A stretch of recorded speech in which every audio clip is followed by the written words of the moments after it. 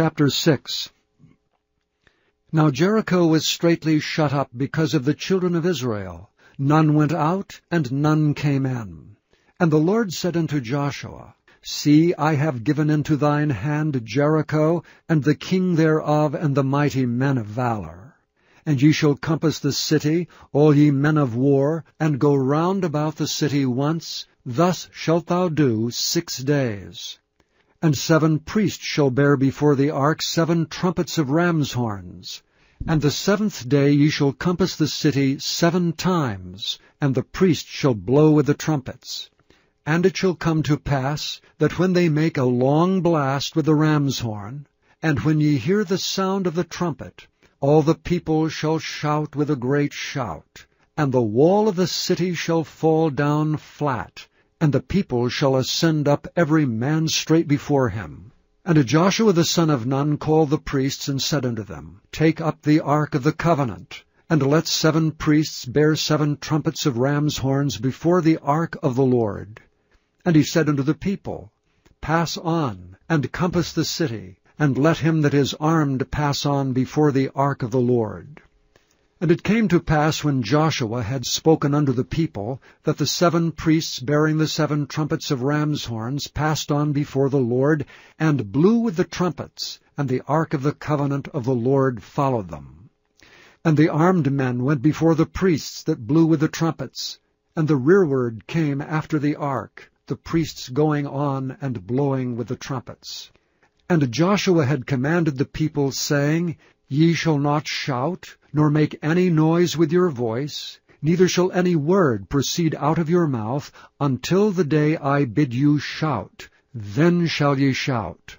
So the ark of the Lord compassed the city, going about it once, and they came into the camp, and lodged in the camp.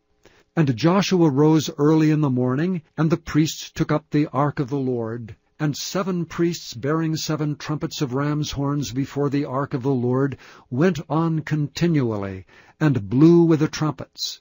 And the armed men went before them, but the rearward came after the ark of the Lord, the priests going on, and blowing with trumpets. And the second day they compassed the city once, and returned unto the camp. So they did six days. And it came to pass on the seventh day, that they rose early about the dawning of the day, and compassed the city after the same manner seven times. Only on that day they compassed the city seven times. And to pass at the seventh time, when the priests blew with the trumpets, Joshua said unto the people, Shout, for the Lord hath given you the city. And the city shall be accursed, even it and all that are therein to the Lord. Only Rahab the harlot shall live, she and all that are with her in the house, because she hid the messengers that we sent. And ye in any wise keep yourselves from the accursed thing, lest ye make yourselves accursed, when ye take of the accursed thing, and make the camp of Israel a curse, and trouble it. But all the silver and gold and vessels of brass and iron are consecrated unto the Lord. They shall come into the treasury of the Lord. So the people shouted when the priests blew with their trumpets. And it came to pass, when the people heard the sound of the trumpet, and the people shouted with a great shout, that the wall fell down flat, so that the people went up into the city, every man straight before him, and they took the city. And they utterly destroyed all that was in the city, both man and woman, young and old, and ox and sheep and ass, with the edge of the sword. But Joshua had said unto the two men that spied out the country, Go into the harlot's house, and bring out thence the woman, and all that she hath, as ye swear unto her. And the young men that were spies went in, and brought out Rahab, and her father, and her mother, and her brethren, and all that she had, and they brought out all her kindred, and left them without the camp of Israel. And they burnt the city with fire, and all that was therein, only the silver and the gold, and the vessels of brass and of iron, they put into the treasury of the house of the Lord. And Joshua saved Rahab the harlot alive, and her father's household, and all that she had. And she dwelleth in Israel even unto this day, because she hid the messengers which Joshua sent to spy out Jericho. And Joshua adjured them at that time, saying, Cursed be the man before the Lord that riseth up and buildeth this city Jericho. He shall lay the foundation thereof in his firstborn, and in his youngest son shall he set up the gates of it. So the Lord was with Joshua, and his fame was noised throughout all the country.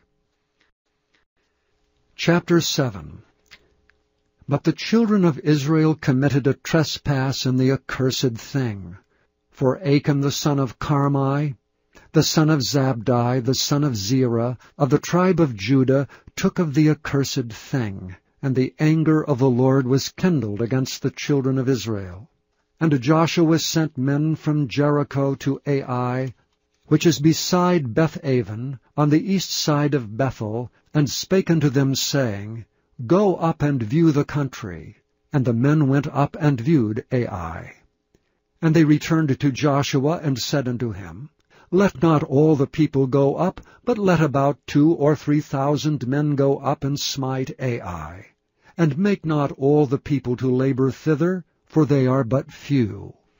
So there went up thither of the people about three thousand men, and they fled before the men of Ai. And the men of Ai smote of them about thirty and six men, for they chased them from before the gate even unto Shebarim, and smote them in the going down. Wherefore the hearts of the people melted and became as water, and Joshua rent his clothes, and fell to the earth upon his face before the ark of the Lord, until the eventide, he and the elders of Israel, and put dust upon their heads. And Joshua said, Alas, O Lord God, wherefore hast thou at all brought this people over Jordan, to deliver us into the hand of the Amorites to destroy us? Would to God we had been content and dwelt on the other side Jordan. O Lord, what shall I say when Israel turneth their backs before their enemies? For the Canaanites and all the inhabitants of the land shall hear of it, and shall environ us round, and cut off our name from the earth. And what wilt thou do unto thy great name? And the Lord said unto Joshua, Get thee up, Wherefore liest thou thus upon thy face? Israel hath sinned, and they have also transgressed my covenant which I commanded them. For they have even taken of the accursed thing, and have also stolen, and dissembled also, and they have put it even among their own stuff. Therefore the children of Israel could not stand before their enemies, but turned their backs before their enemies, because they were accursed. Neither will I be with you any more, except ye destroy the accursed from among you. Up, sanctify the people, and say, Sanctify yourselves against tomorrow, for thus says the Lord God of Israel, there is an accursed thing in the midst of thee, O Israel. Thou canst not stand before thine enemies until ye take away the accursed thing from among you. In the morning, therefore, ye shall be brought according to your tribes. And it shall be that the tribe which the Lord taketh shall come according to the families thereof. And the family which the Lord shall take shall come by households and the household which the Lord shall take shall come man by man. And it shall be that he that is taken with the accursed thing shall be burnt with fire, he and all that he hath, because he hath transgressed the covenant of the Lord, and because he hath wrought folly in Israel. So Joshua rose up early in the morning, and brought Israel by their tribes, and the tribe of Judah was taken. And he brought the family of Judah, and he took the family of the Zarhites. And he brought the family of the Zarhites man by man, and Zabdi was taken. And he brought his household man by man, and Achan the son of Carmi, the son of Zabdi, the son of Zerah of the tribe of Judah, was taken. And Joshua said unto Achan, My son, give, I pray thee, glory to the Lord God of Israel and make confession unto him, and tell me now what thou hast done. Hide it not from me. And Achan answered Joshua and said, Indeed, I have sinned against the Lord God of Israel, and thus and thus have I done.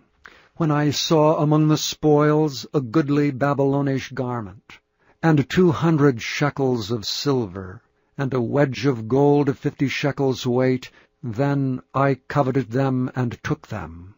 And behold, they are hid, and the earth in the midst of my tent, and the silver under it. So Joshua sent messengers, and they ran into the tent, and behold, it was hid in his tent, and the silver under it.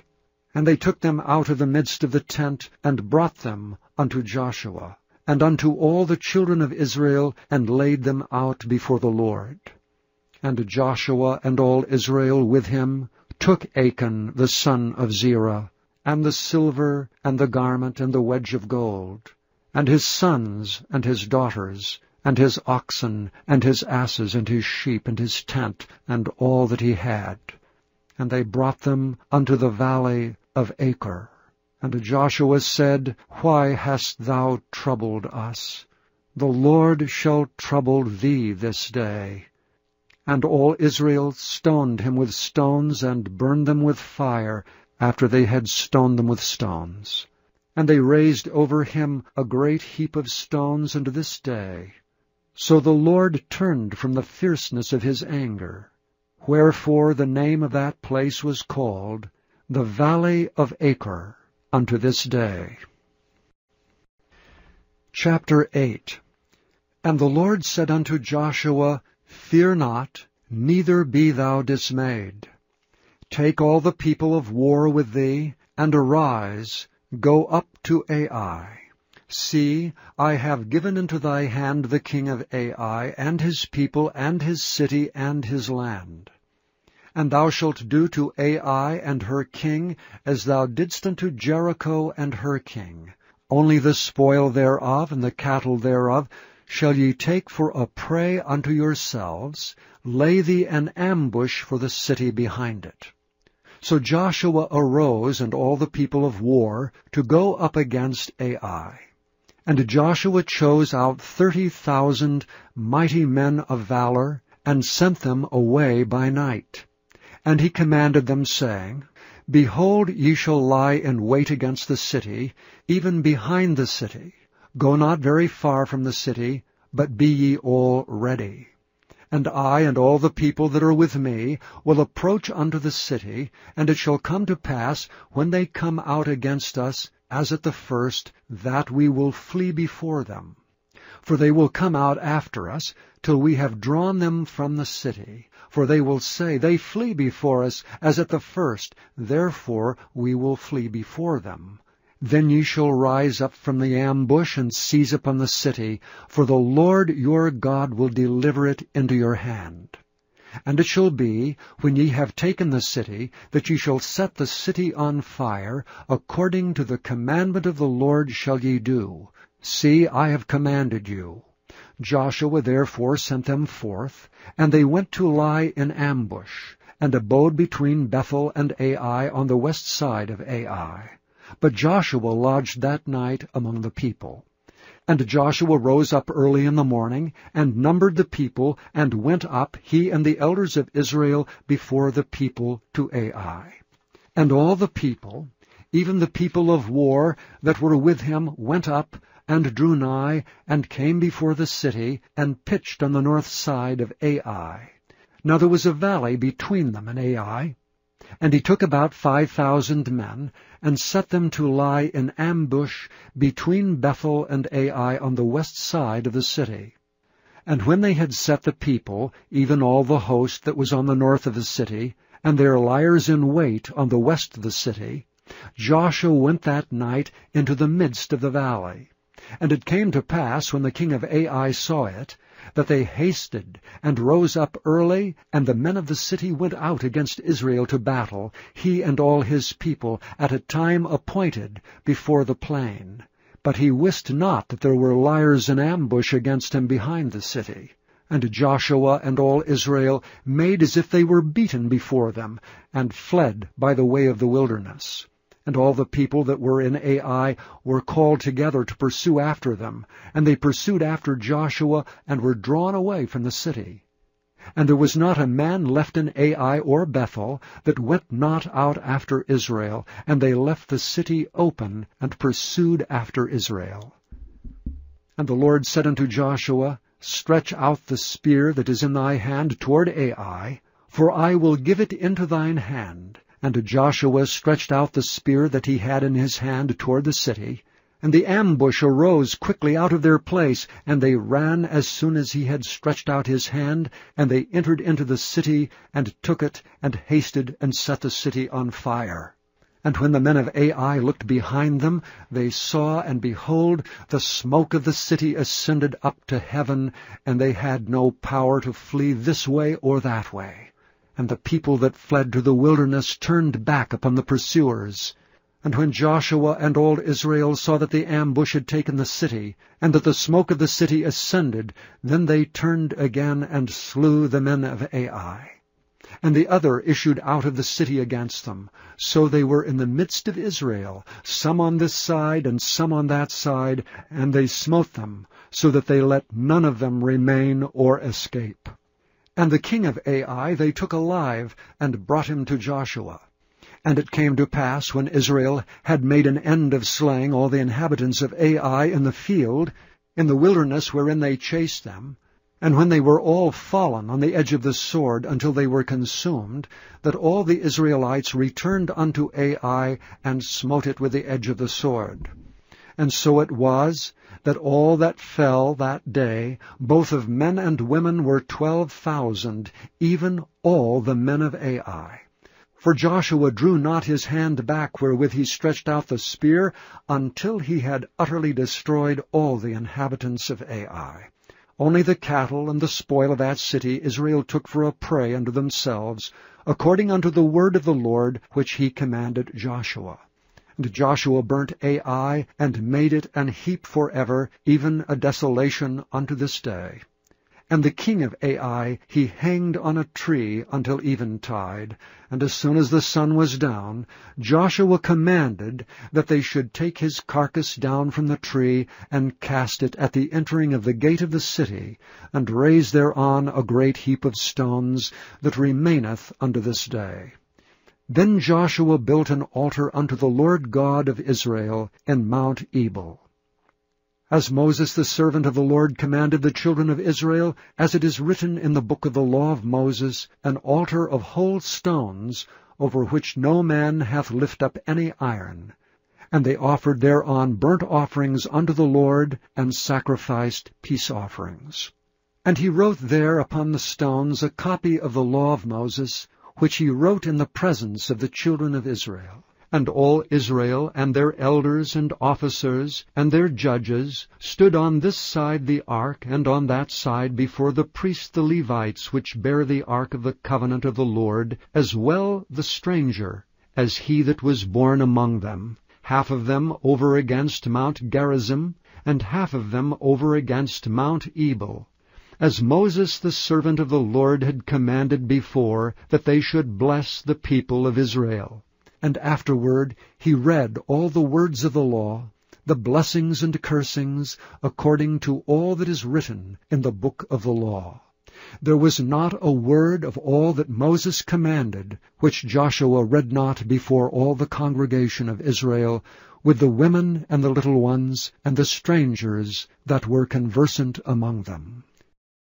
Chapter 9 and it came to pass, when all the kings which were on this side Jordan, in the hills and in the valleys, and in all the coasts of the great sea over against Lebanon, the Hittite and the Amorite, the Canaanite, the Perizzite, the Hivite, and the Jebusite heard thereof, that they gathered themselves together to fight with Joshua and with Israel with one accord. And when the inhabitants of Gibeon heard what Joshua had done unto Jericho and to Ai, they did work wilily, and went and made as if they had been ambassadors, and took old sacks upon their asses, and wine bottles old and rent and bound up, and old shoes and clouted upon their feet, and old garments upon them, and all the bread of their provision was dry and mouldy. And they went to Joshua unto the camp at Gilgal, and said unto him, and to the men of Israel, We be come from a far country. Now therefore make ye a league with us. And the men of Israel said unto the Hivites, Peradventure ye dwell among us, and how shall we make a league with you? And they said unto Joshua, We are thy servants. And Joshua said unto them, Who are ye? And from whence come ye? And they said unto him, From a very far country thy servants are come because of the name of the Lord thy God. For we have heard the fame of him, and all that he did into Egypt, and all that he did to the two kings of the Amorites that were beyond Jordan, to Sihon king of Heshbon, and to Og king of Bashan, which was at Ashtaroth.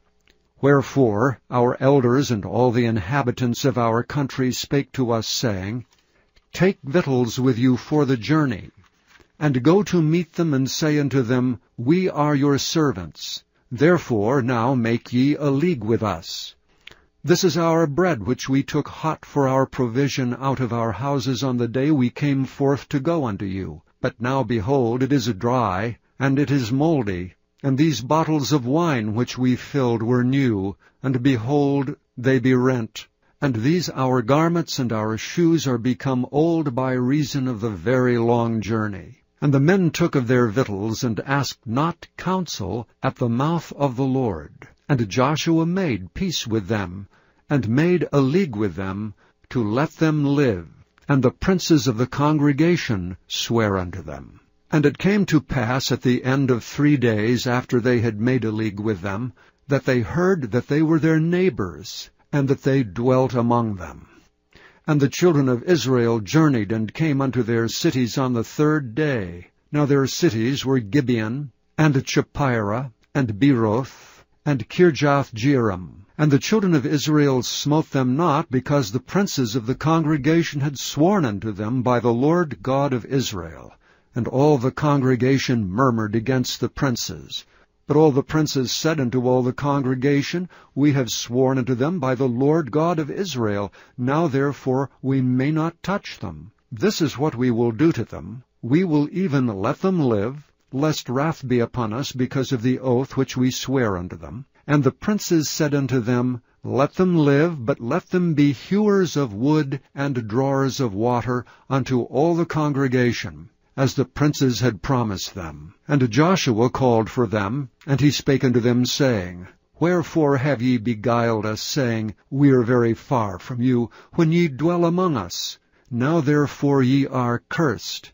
And there shall none of you be freed from being bondmen and hewers of wood and drawers of water for the house of my God. And they answered Joshua and said, because it was certainly told thy servants how that the Lord thy God commanded his servant Moses to give you all the land, and to destroy all the inhabitants of the land from before you. Therefore we were sore afraid of our lives because of you, and have done this thing. And now, behold, we are in thine hand. As it seemeth good and right unto thee to do unto us, do. And so he did unto them and delivered them out of the hand of the children of Israel, that they slew them not.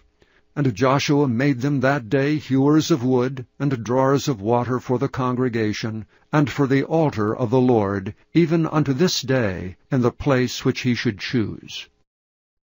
Chapter 10 Now it came to pass, when Adonizedec, king of Jerusalem, had heard how Joshua had taken Ai, and had utterly destroyed it, as he had done to Jericho and her king, so he had done to Ai and her king, and how the inhabitants of Gibeon had made peace with Israel and were among them, that they feared greatly because Gibeon was a great city, as one of the royal cities, and because it was greater than Ai, and all the men thereof were mighty.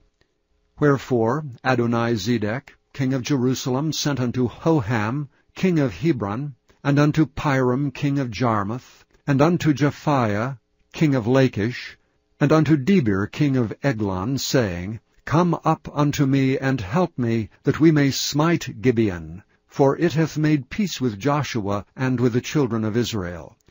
Therefore the five kings of the Amorites, the king of Jerusalem, the king of Hebron, the king of Jarmuth, the king of Lachish, the king of Eglon, gathered themselves together and went up, they and all their hosts, and encamped before Gibeon, and made war against it.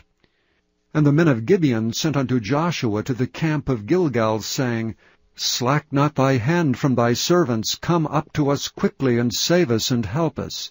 For all the kings of the Amorites that dwell in the mountains are gathered together against us. So Joshua ascended from Gilgal, he and all the people of war with him, and all the mighty men of valor. And the Lord said unto Joshua, Fear them not, for I have delivered them into thy hand. There shall not a man of them stand before thee. Joshua therefore came unto them suddenly, and went up from Gilgal all night. And the Lord discomfited them before Israel, and slew them with a great slaughter at Gibeon, and chased them along the way that goeth up to Bethhoron, and smote them to Azekah and unto Makkedah. And it came to pass, as they fled from before Israel, and were in the going down to Bethhoron, that the Lord cast down great stones from heaven upon them unto Azekah, and they died. They were more which died with hailstones than they whom the children of Israel slew with the sword. Then spake Joshua to the Lord in the day when the Lord delivered up the Amorites before the children of Israel.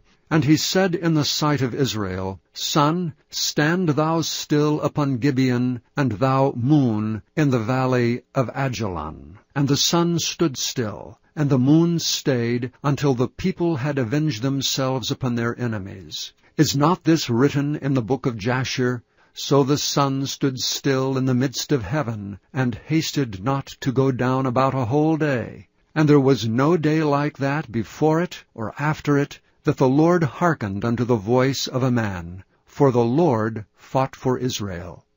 And Joshua returned, and all Israel with him unto the camp to Gilgal. But these five kings fled, and hid themselves in a cave at Makkedah. And it was told Joshua, saying, The five kings are found hid in a cave at Makkedah. And Joshua said, Roll great stones upon the mouth of the cave, and set men by it for to keep them. And stay ye not, but pursue after your enemies, and smite the hindmost of them, suffer them not to enter into their cities, for the Lord your God hath delivered them into your hand. And it came to pass, when Joshua and the children of Israel had made an end of slaying them with a very great slaughter, till they were much consumed, that the rest which remained of them entered into fenced cities. And all the people returned to the camp to Joshua at Makkedah in peace. None moved his tongue against any of the children of Israel.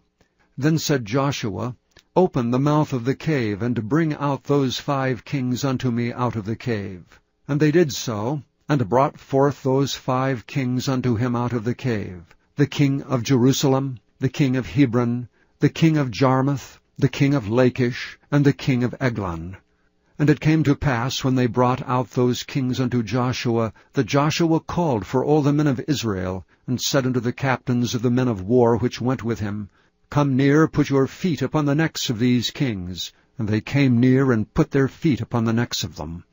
And Joshua said unto them, Fear not, nor be dismayed, be strong and of good courage, for thus shall the Lord do to all your enemies against whom ye fight. And afterward Joshua smote them and slew them, and hanged them on five trees, and they were hanging upon the trees until the evening. And it came to pass at the time of the going down of the sun, that Joshua commanded that they took them down off the trees and cast them into the cave wherein they had been hid, and laid great stones in the cave's mouth, which remain until this very day. And that day Joshua took Makkedah, and smote it with the edge of the sword, and the king thereof he utterly destroyed. Them and all the souls that were therein he let none remain. And he did to the king of Makkedah as he did unto the king of Jericho.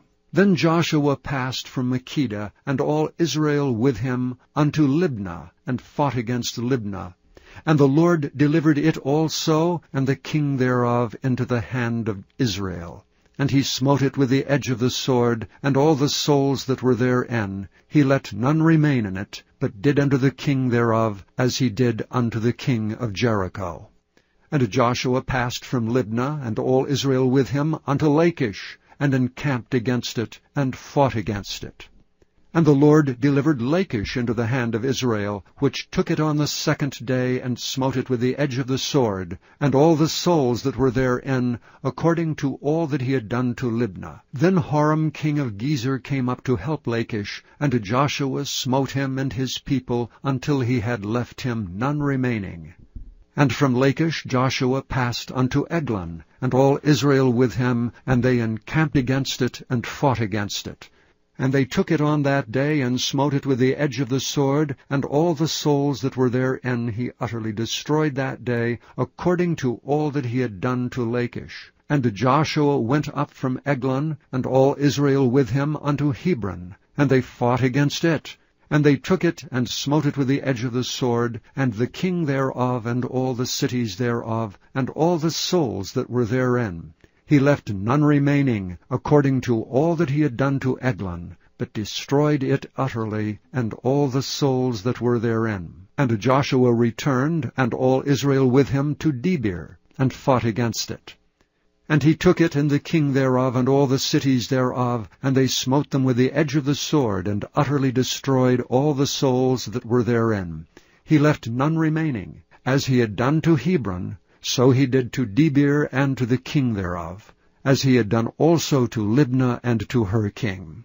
So Joshua smote all the country of the hills, and of the south, and of the vale, and of the springs, and all their kings. He left none remaining, but utterly destroyed all that breathed, as the Lord God of Israel commanded. And Joshua smote them from Kadesh Barnea, even unto Gaza, and all the country of Goshen, even unto Gibeon. And all these kings in their land did Joshua take at one time, because the Lord God of Israel fought for Israel. And Joshua returned, and all Israel with him, unto the camp to Gilgal.